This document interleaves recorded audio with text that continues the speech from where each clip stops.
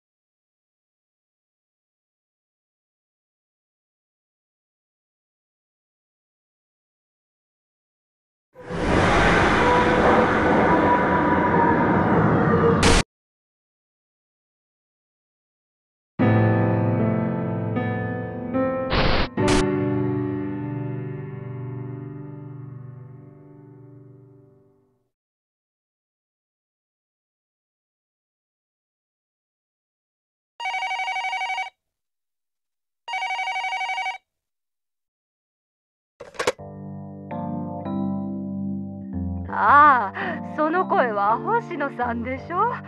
また銃を持った男がうろついてるのよ。早く来てちょうだい。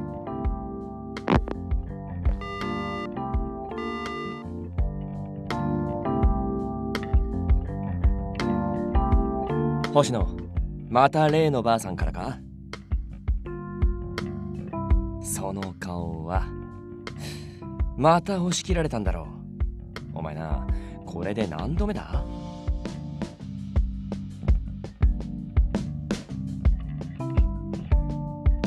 いいか星野。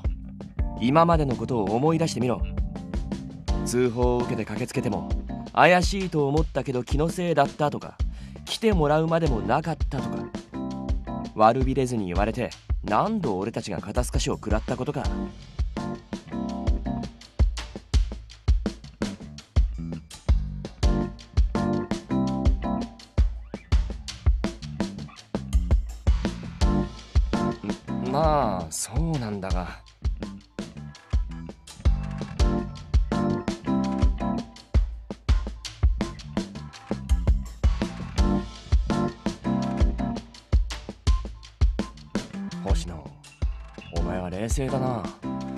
とても警察官になって半年の新人とは思えないぞ。ああ俺が入りたての頃なんてもっと必死でちょとつ猛進というかがむしゃらに突っ走ってただけだからな。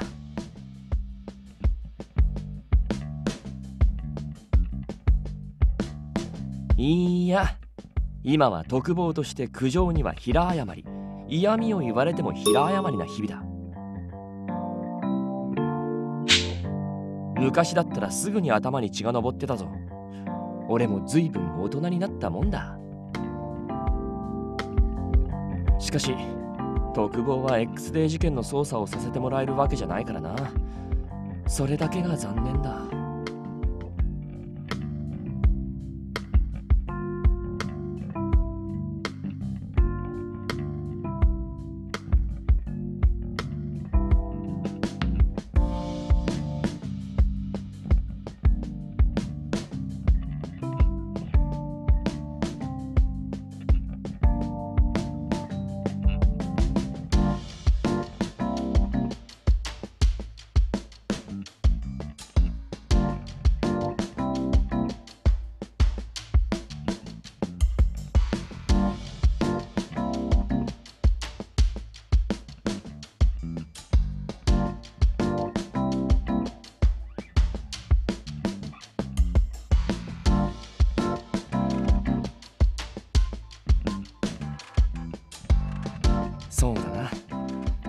あんまりあのばあさんを待たせるわけにもいかないし。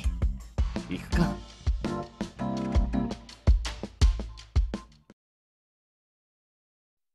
今日も今日とてただ単に人相が悪い男がうろついてただけだったわけだがあのばあさんお前が話を聞くといつも帰る頃には安心した顔してるよな。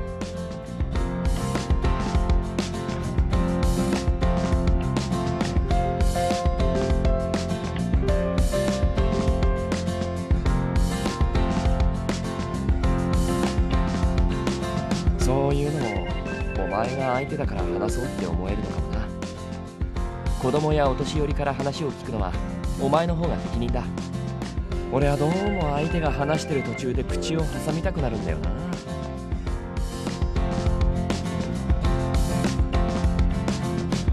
おい星野ここは否定するところだぞ。お前な。後輩なら少しは先輩を立てろって。傷つくだろ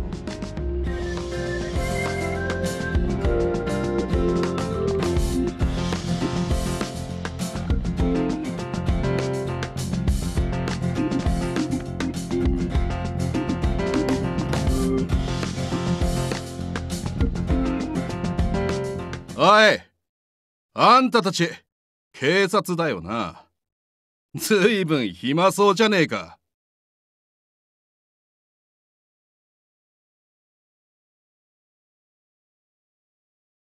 俺たちが新宿に閉じ込められたのってさ警察が無能なせいだろ。責任取って今この場で土下座しろよ。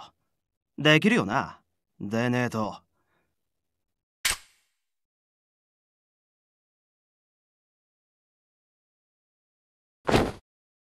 やめとけ。いいってててててて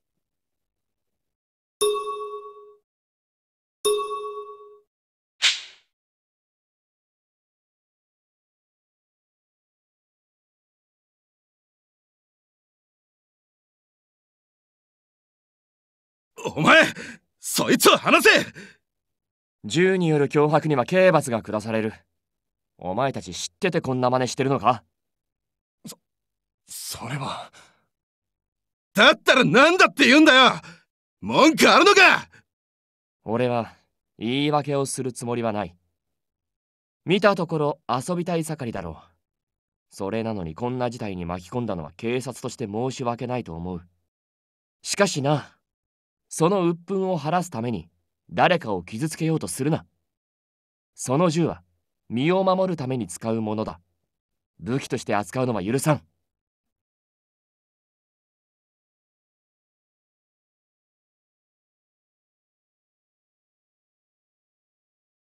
それでいい。日も暮れるしこんなところでつるんでないでもう帰る。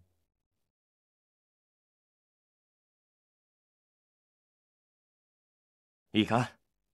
一般人相手に同じ真似はするなよ。二度目はないぞ。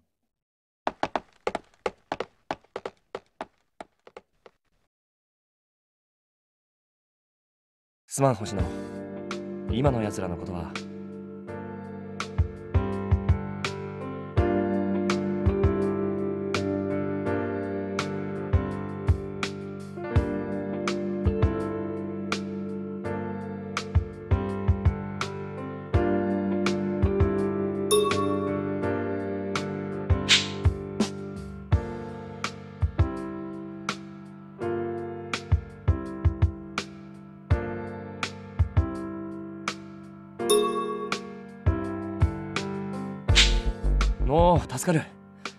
あいつらも根は悪い奴らじゃないと思うんだ。一人は銃の安全装置をかけたままだったし。しかしお前も頼もしくなったな。銃を向けられても冷静に状況を見て行動できてる。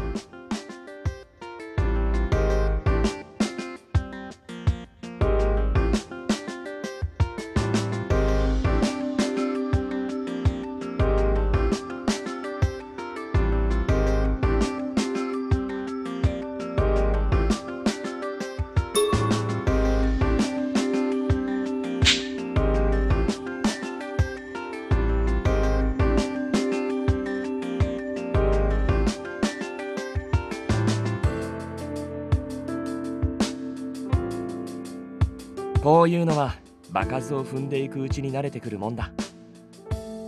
それにこういう時くらい先輩らしいところを見せないとな。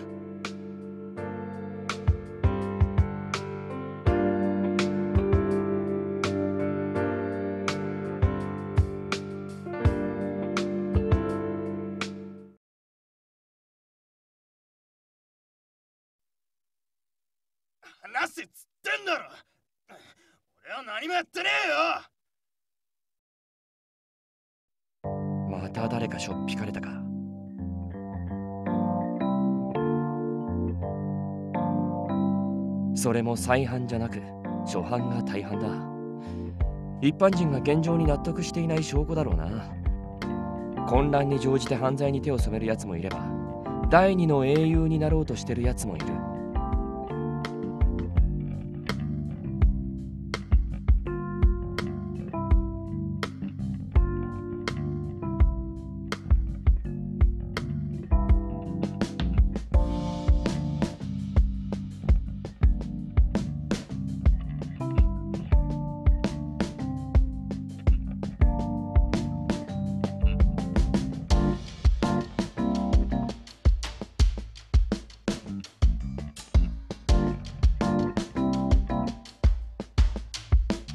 国民の手で犯人を裁いたことがもてはやされ軽犯罪の抑止力にもなってると言われているが本来なら犯人逮捕は俺たち警察の仕事だ。それなのに。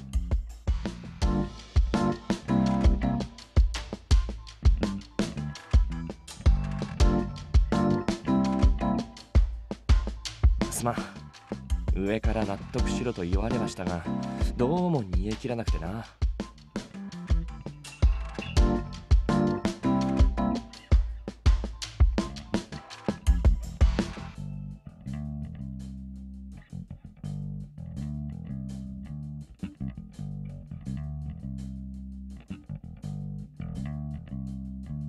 な星野俺は地域企画課に用があるから先に戻っててくれるか。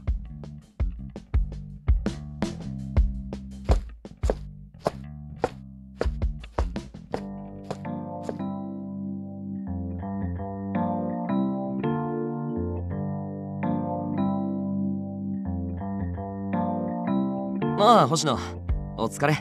もう上がるのか？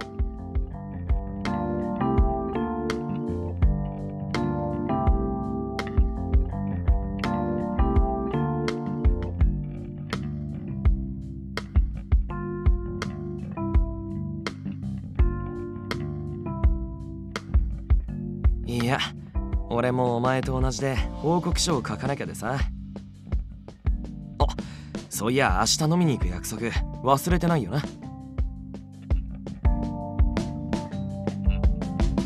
なんだまた悩み相談か？お前特防になってから多いよな。警察学校にいた頃は犯罪者を一人でも多く捕まえてみせるって燃えてたのにさ。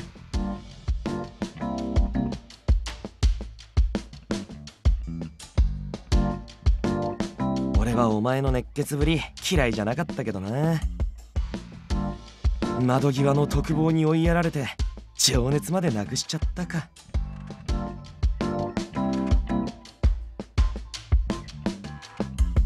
お急に元気になったな。うんやっぱお前はそうでなくちゃ。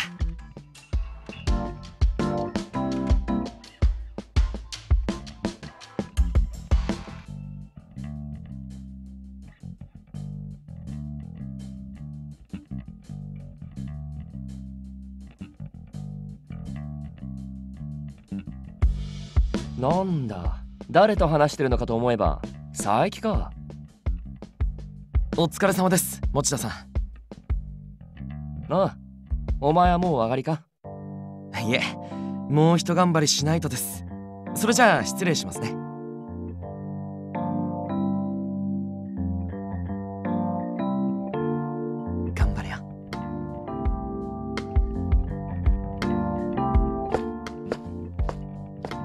たちは相変わらず仲がいいな。明日も飲みに行くんだろ？佐伯だよ。1週間くらい前だったかな。俺のところに来て飲みに行く日はお前に残業させないでほしいって頼まれてさ。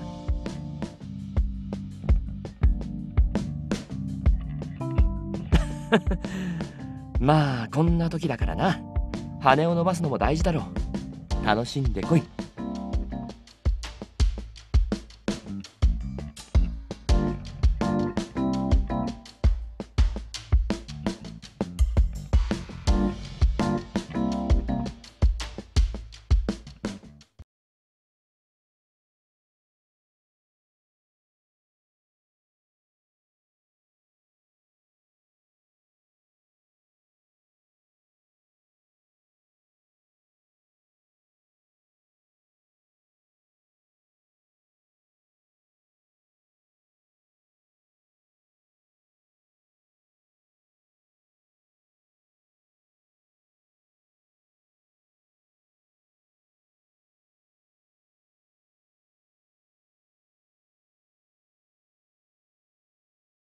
おまだ残ってたのか？その顔じゃまた迷ってるみたいだな。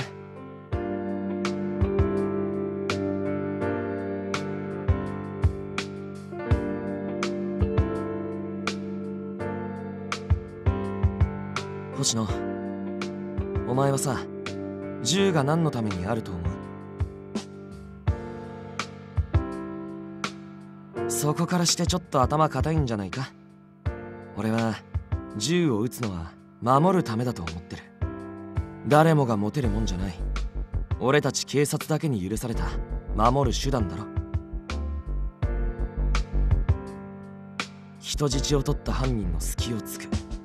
逃亡しようとする奴の足止めをする。正確な射撃能力があればそれも可能になる。でも撃つ覚悟と能力が備わってなけりゃ人質をミスミス死なせてしまうかもしれない。犯人を逃して被害を広げるかもしれない。殺すためじゃない。守るために撃つ。そうは考えられないか？う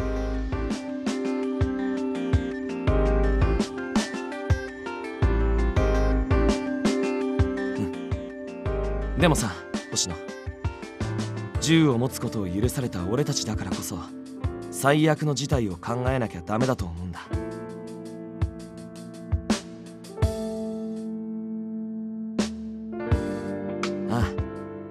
たとえそれで犯罪者の命を奪ったとしても何かを守るためには代償を負う覚悟が必要だろもしそういう選択を迫られた時お前は犯罪者を撃つ覚悟があるか？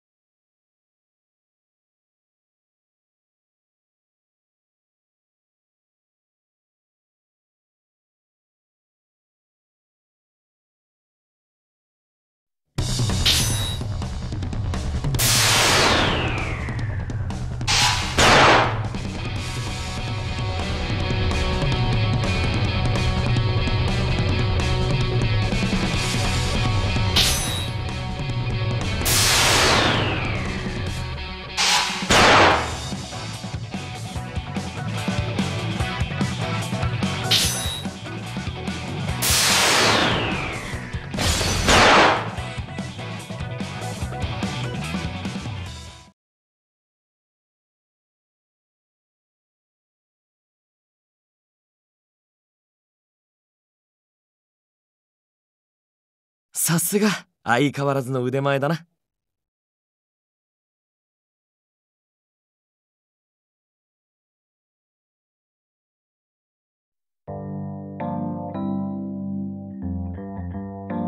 結構時間かかっちゃってさ。息抜きにサボろうかと思ったらお前がこっち来るの見えたから。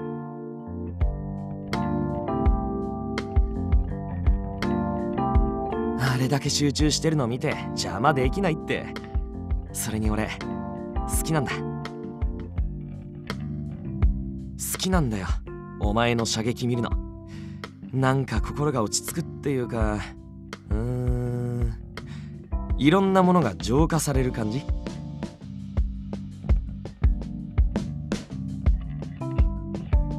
もちろん褒めてるんだぜ。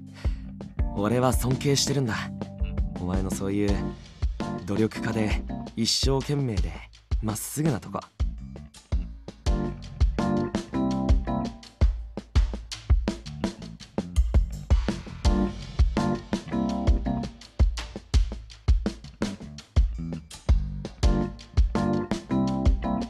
お前は昔から熱心だったけどさここ数ヶ月頻繁に来るようになったのは銃刀法が解除されたからだろ。う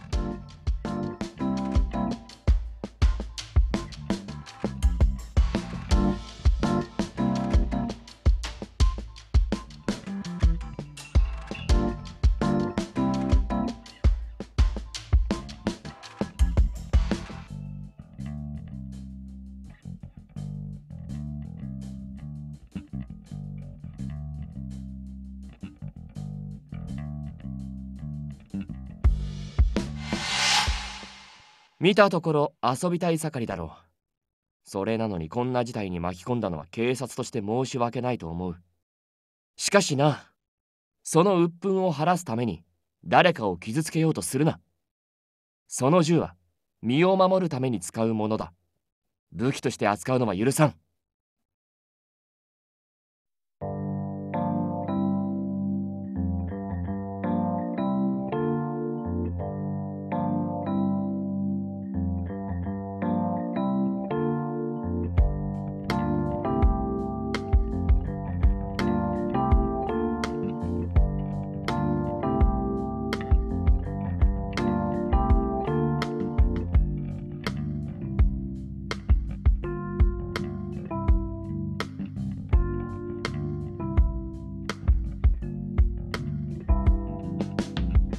その覚悟を持たない持てない一般人が引き金一つで人を殺せる武器を手にした。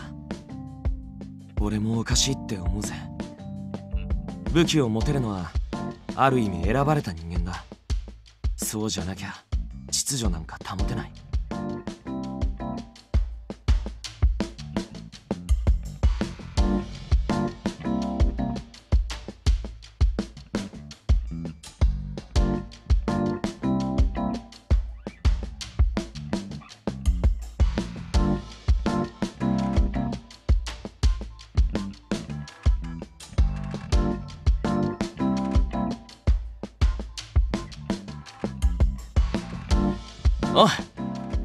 負けてられないな。まあさすがにお前には勝てそうにないけど努力以前にお前の射撃は天性のもんだよ。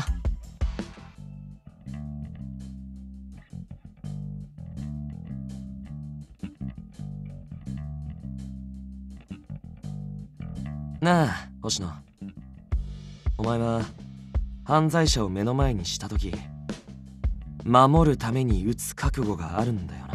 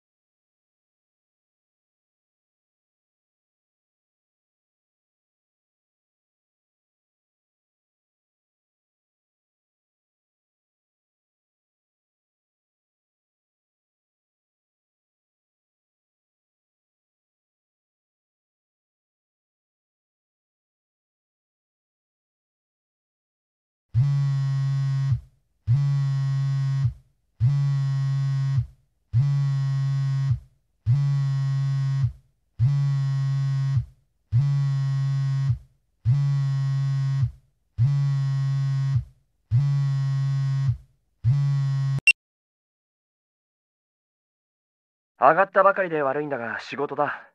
何でも新宿園内で揉め事があったらしい。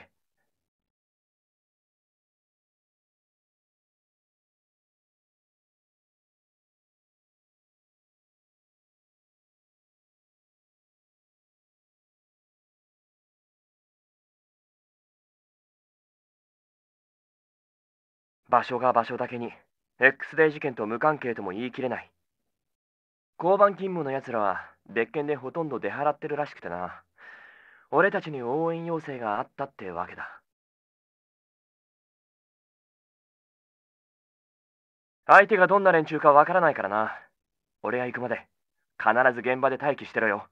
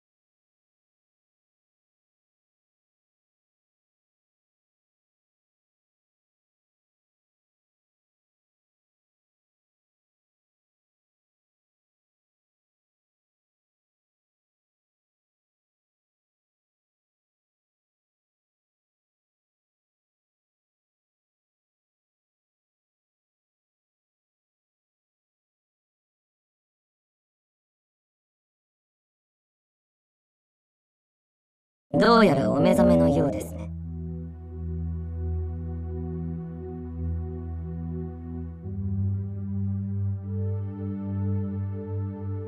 突然このような場所にお連れして、さぞや驚かれていることと思います。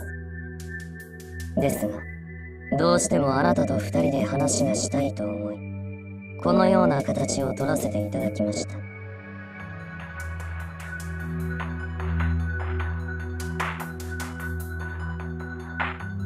その問いに今は答えることはできません。ただどのみちあなたは我々にたどり着くことになるでしょう。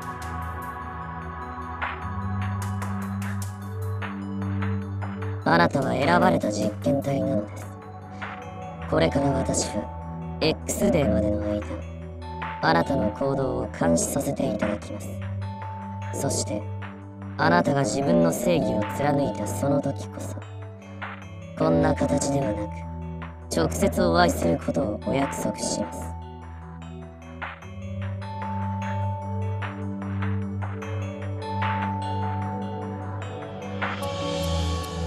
お静かに。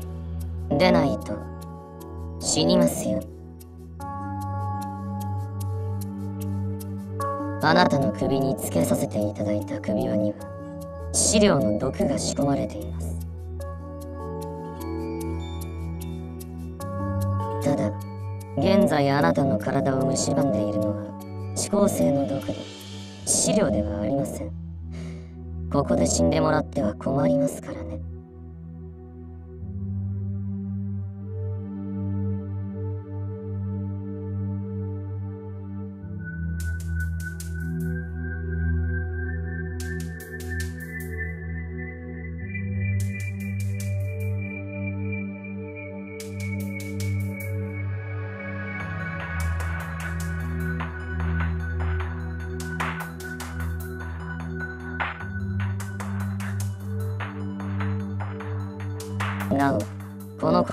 察に口外しないでくださいこちらもむやみに手をかけたくはないのあなたも身近な人間や大切な人を失うのは悲しいでしょう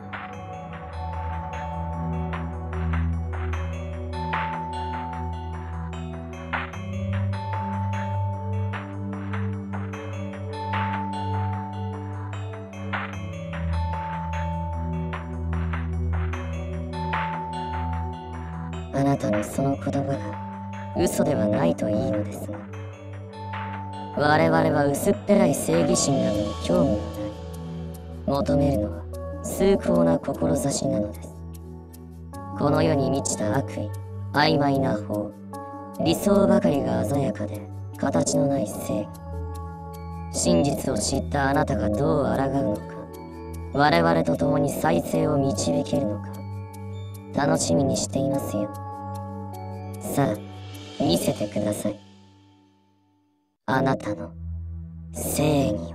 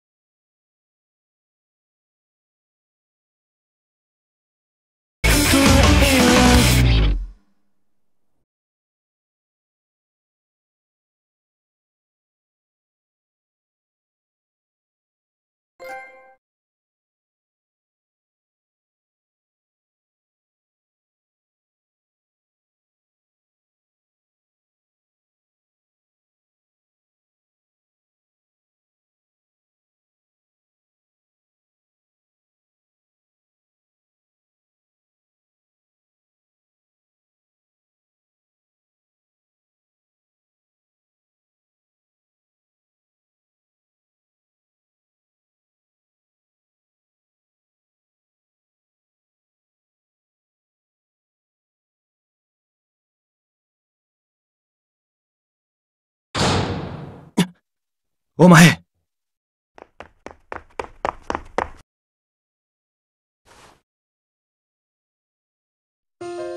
おいしっかりしろ。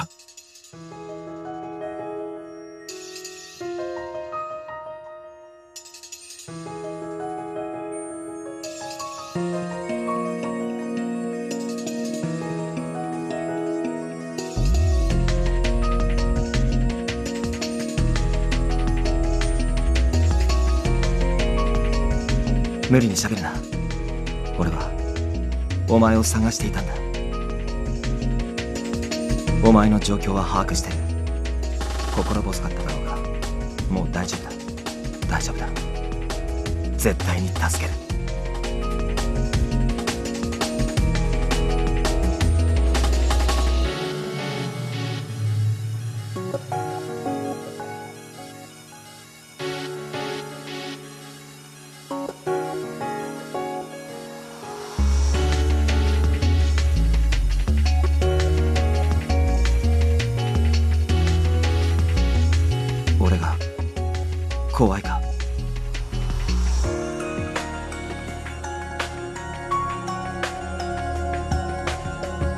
俺じゃまるであの時と同じだ。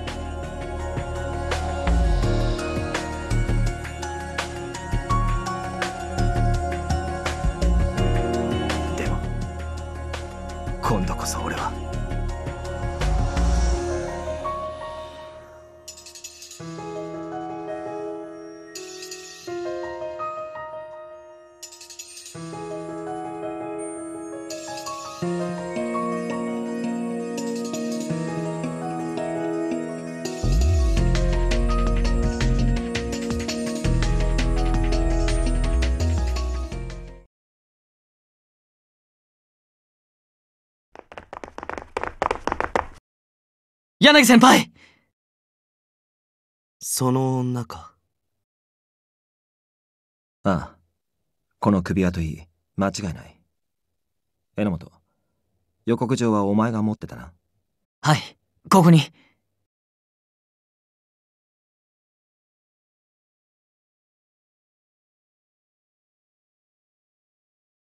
これは俺たち宛てに届いた予告状だ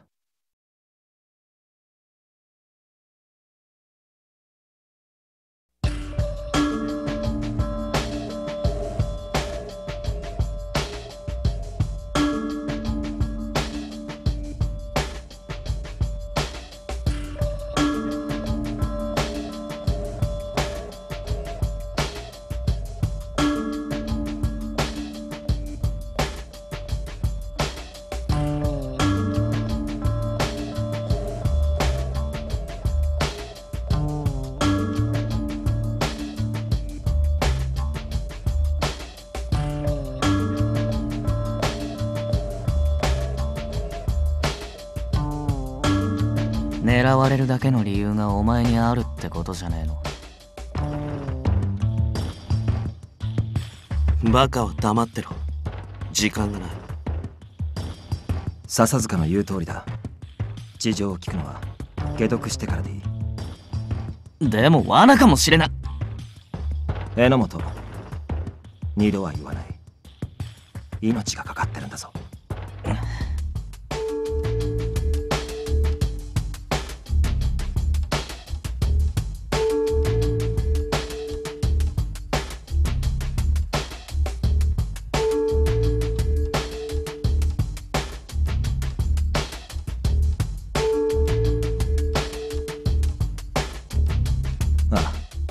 解除コードはここに入力するらしいな。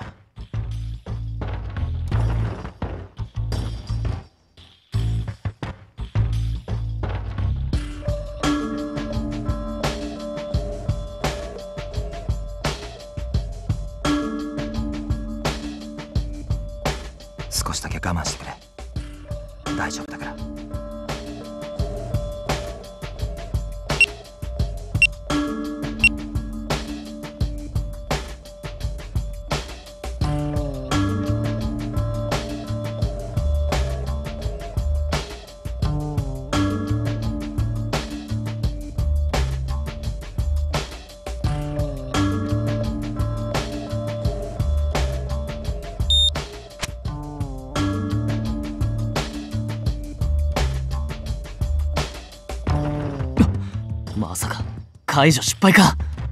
柳さんどうなんだ？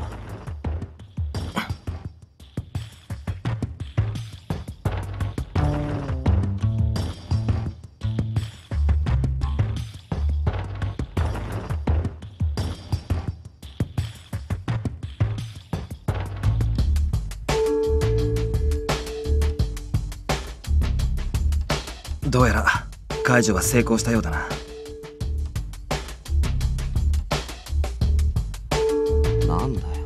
紛らわしい。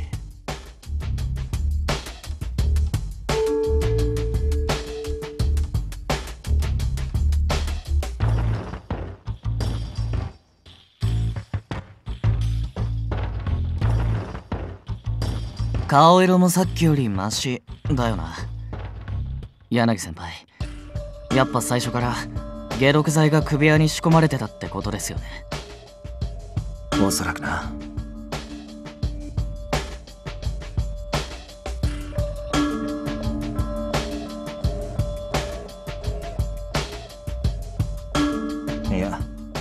俺だけの手柄じゃない。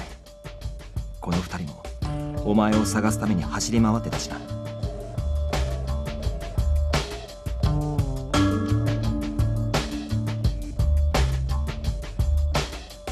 そんなことはどうでもいい。それより犯人が何でお前を選んだか俺はそれが知りたいんだよ。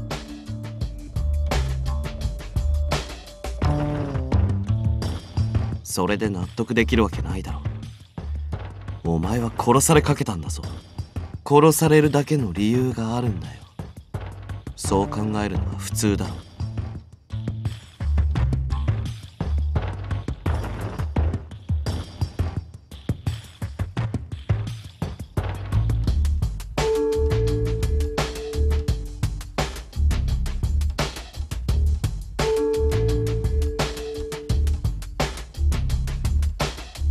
今はこっちの質問にだけ答えろ。お前と犯人の関係性がわからない限りホイホイ情報を与えられないからな。おいタケル言いたいことはわかるけど落ち着けって。って柳先輩何してるんですか？そこに銃が落ちてた。犯人のものかあるいは。そうかこの町で銃を持っていること自体は不思議じゃないがこの銃は警察が使用しているものだな。俺が元警察官だからだ。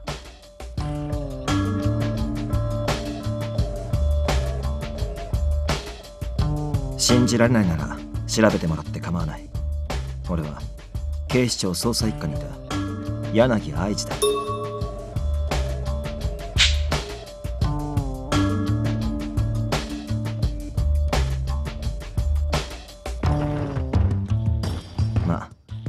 銃と一緒に警察手帳も落ちていたからな。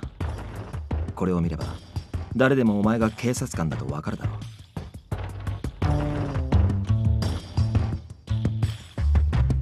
星野。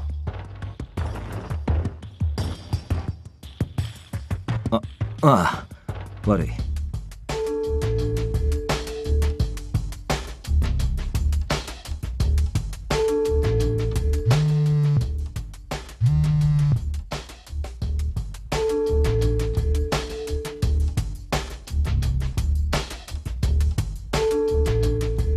誰からだ？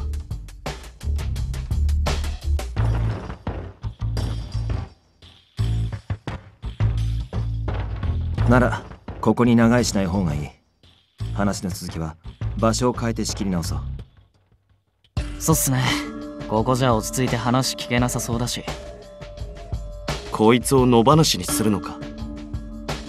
そりゃ姿くらまされたら問題だけど。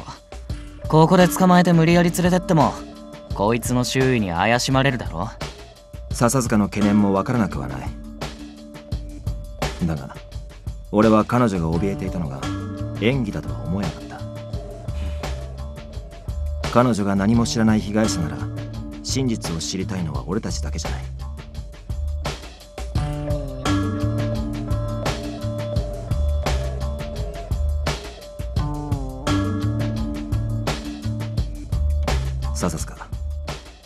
彼女は警察官だ。逃げはしない。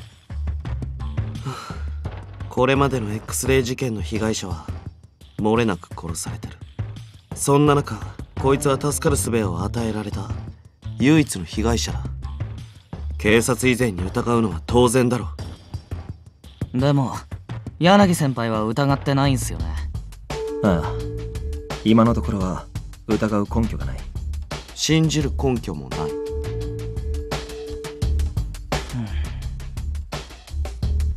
じゃあ今のところは話してもいいんじゃねえの？こいつがこのまま行方知らずになれば捜索がかかるしそっちのが厄介じゃん。だったら分かった。もういい。もし逃げても居場所を突き止めて洗いざらい吐かせりゃいい話だしな。星野後で改めて迎えをよこすまず新宿署で待機してくれるか。署にいた方がまだ気も休まるだろ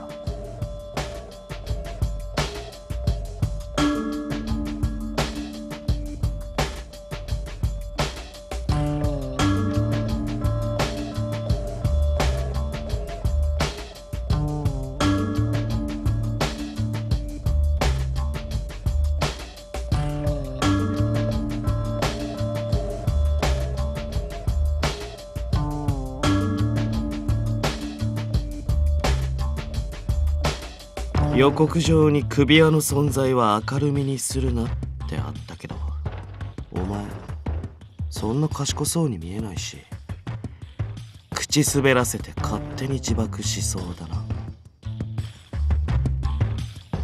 さあ笹塚そのくらいにしておけ。解毒はできたが彼女の首輪が外れたわけじゃない。少しは気遣ってやるま予告状にも首輪を通して監視してる的なこと書かれてたしな。星野。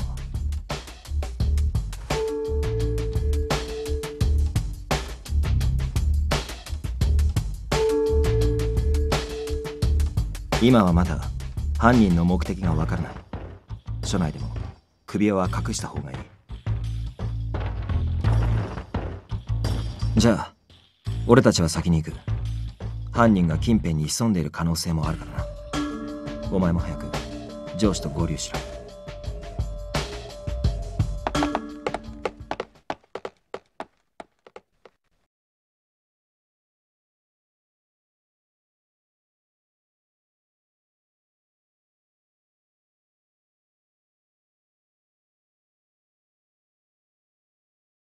星野。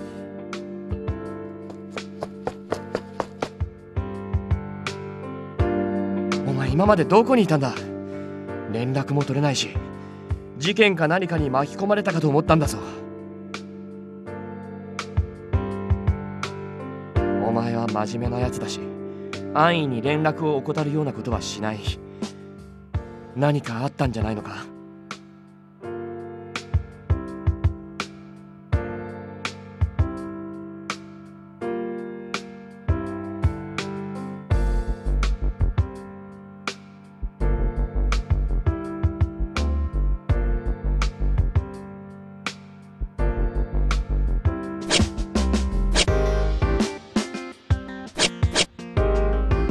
Guys, if you'd like to help support my channel, please turn off ad blocker. Also, you can donate to my Patreon for as little as a dollar or as much as a hundred dollars. Also, you can look at the links below and using those links will help support me.